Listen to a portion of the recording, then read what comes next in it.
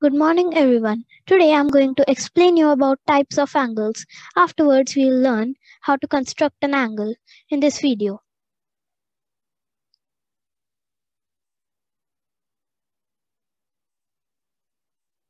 Okay, there are six types of angles which are acute angle, right angle, obtuse angle, straight angle, reflex angle and complete angle. Acute angle.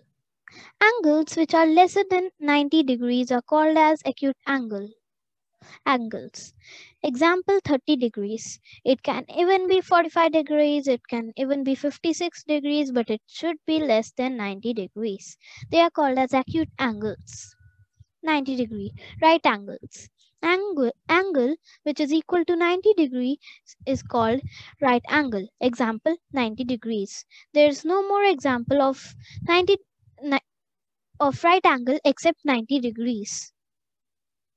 Obtuse angle. Angles which are more than 90 degrees and are less than 180 degrees are called as obtuse angle. Example 120 degrees. They can be 150 degrees, 145 degrees, 130 degrees, etc. Straight angle. An angle which is equal to 180 degrees is called a straight angle. Example 180 degrees. In this also, there in straight angle, there's only one example, which is 180 degrees. Reflex angle.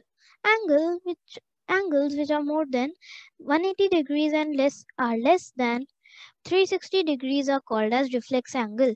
Example 298 degrees, 198 degrees, etc. Complete angle. An angle which is equal to 360 degrees is called as, called as complete angles. Example 360 degrees.